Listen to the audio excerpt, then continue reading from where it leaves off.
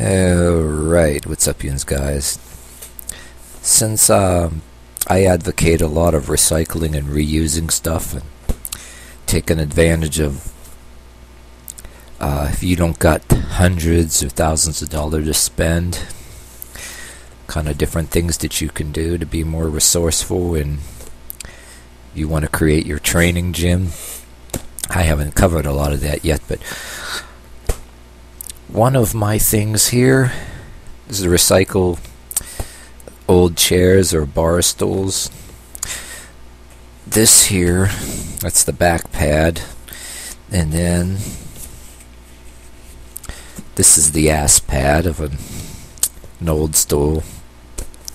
And if any of you guys ever seen a lot of people throw these things away, maybe they don't want to take the time to clean off the metal parts that start to rust after a while. Say they stored some seats away or they had a, a, a little bar or party place in their basement or something, and you know how some basements get, or whatever the hell the reason, furniture and storage, the silver parts of the, the metal that's usually used to be slightly shiny metal would be, you know, get some little rust spots all there if it's not cared for, if it's stored in some yes, shit that's stored in a garage. Maybe people store some furniture in a garage, they have no room in their house. And yeah, they don't want to give it away or sell it at a flea market or anywhere. It's just they want to keep it, and then after they keep it too long, not using it, then they end up throwing the shit out. But like a smaller pad. All you have to do is get a piece of 4x4 lumber, you know, and dig your hole and then put a, you know, a brick here and then one brick here a little lower so you're 4x4 between, you know, you when you're striking. If any of you guys watch Steven Seagal movies, there was one, uh, what was that one where he got shot and then he got out of the coma. Rissus, I'm going to take you to the bank, the blood bank. You know that politician had him had him try to kill him or whatever, and he was in a coma, and he come out from the um, was it out for out for justice or one of those.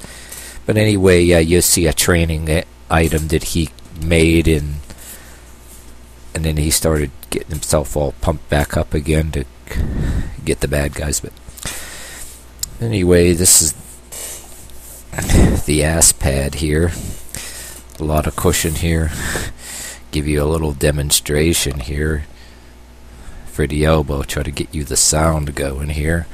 Ready, one, two.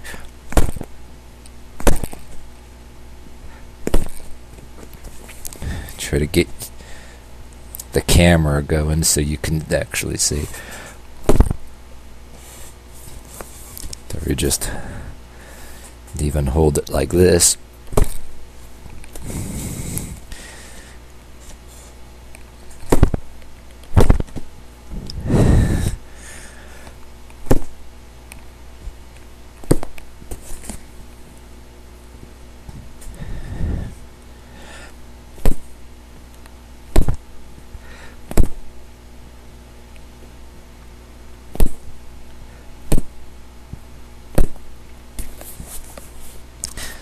I'll get the basic idea.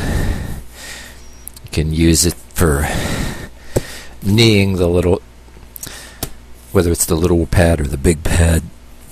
Maybe hold either one of these, the partner to hold it in their hand, whether it's the big pad or the little pad, and just knee the living shit out of it. You know what I mean? I was trying to show you the best I could in this camera here. See what happens with the little one, you know. The little one's easier to hold on to because it's not as way as heavy. Let me, let me get this in the camera here. But, but you know, you can have a partner just hold it like this, you know, practice that kneeing. And if they want to do a knee punch elbow combination, you know, if you have a director, somebody directing the thing, you know, calling knee knee, knee, elbow, knee, elbow, elbow, punch, knee, and then kick. A bunch of things like that, you know, calling it like that, and then they can just hold the pad, you know. But this little one ain't quite as padded, but I like the idea of having a softer pad where you can really go at it, but then have a pad where it's padded, but yet you'll be hitting a hard surface when you hit so hard, so you get the idea that a lot of your targets are not going to be soft in real life, but this is so this is smaller, but yet it's not as.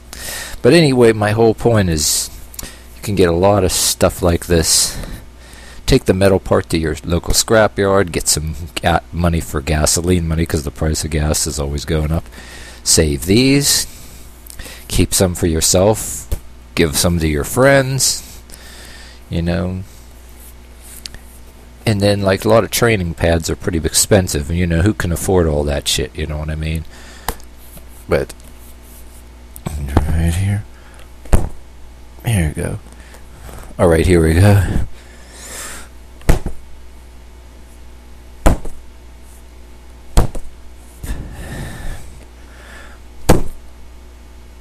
Wait a minute, hold on.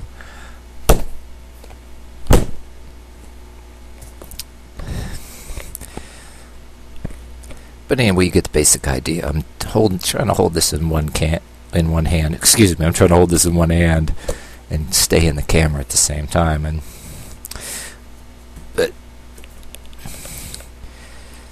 but yeah, the my, the bigger ones seem to have more padding because they're for the butt, and then the other ones are for the seat.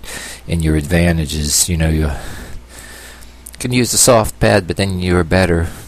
Something has a little less padding, so you can feel the oomph to it. You know what I mean?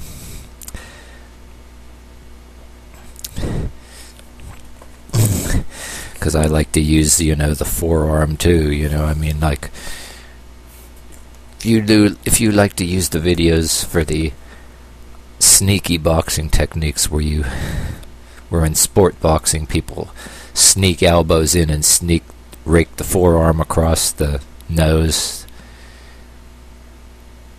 You know, you can use the forearm too, you know, out there for the pad, but Alright, I figure I'd just give you a real uh, rundown of that. But yeah, since I advocate, you know, um, recycling, I don't like to see anything go to waste. Try to make a use for everything you can. And why the hell buy expensive pads and all kind of stuff that you can't even afford? Can run you into thousands of dollars. And I think there's a lot of people that are at a disadvantage when. Uh, they don't have a lot of money to spend on their credit cards and everything, you know. Pretty resourceful, and there's a lot of stuff that you can reuse around here, you know what I mean? And there's a lot of pads and bar stools that make pretty damn good uh, pads, you know what I mean? But uh, I think that's about it. So, so I think I'm going to toss that your way. But what I'm going to try to do is uh, get get the girlfriend to hold a pad, and we both take turns and demonstrate this. Maybe this can be one of our next videos. Yeah, we were trying to do another video like what we were doing already with the the crowbars and the the metal rods there to try to show you the idea of um, reducing fear by getting familiar with the impacts and you how you can get nerves of steel, you know. So we've both been busy with a lot of things in the offline life too, so try to get videos out. So those will be coming. But anyway, um, I, I think that's it. That's it for this video. Um, See you next time.